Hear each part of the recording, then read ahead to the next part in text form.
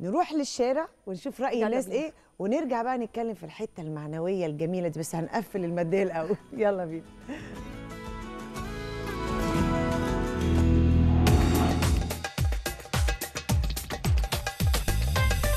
والله الناس كلها بتنزل الأسواق الفترة دي لأن احتياجاتها في شهر رمضان الكريم. أنت عارف كل أسرة لو كل أسرة مثلا فيها اثنين أو ثلاثة أو أربعة على حسب العدد الموجود فيه بيبدأوا يستعدوا بينزلوا يجهزوا كل حاجة. يعني من أكل وشرب وزيت وسكر. الصرف بيزيد في مصر.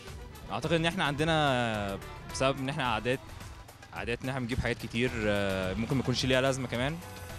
وخصوصا في رمضان يعني بنجيب الحاجات دي كتير. والله دي عادة من زمان صراحة. لكن إح ما هو نفس الأكل وهم نفس الوجبتين اللي بناكلهم. يعني هي دي عادة. الشعب المصري شعب كريم. فطبعا بيتوقع إن حد هيجي له في رمضان وكده فبيحاول يجهز نفسه.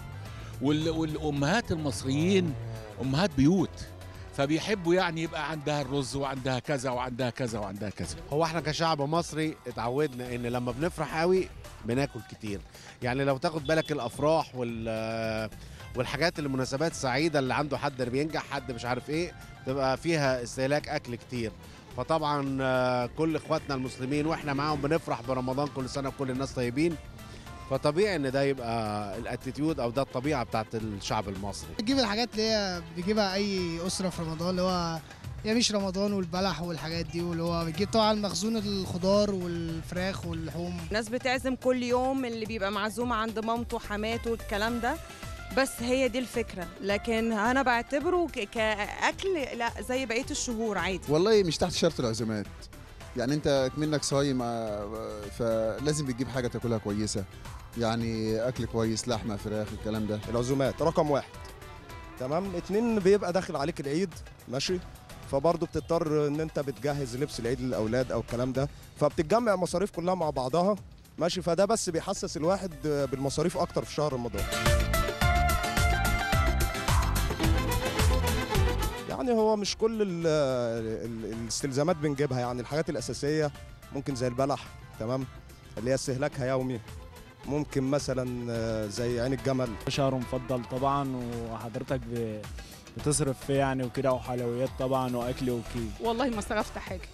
والله ما استعديت بأي حاجة خالص. آه لأن هو هو يوم بيوم. المفروض آه كل سنة وأنتم طيبين. يعني هو مش شهر الأكل.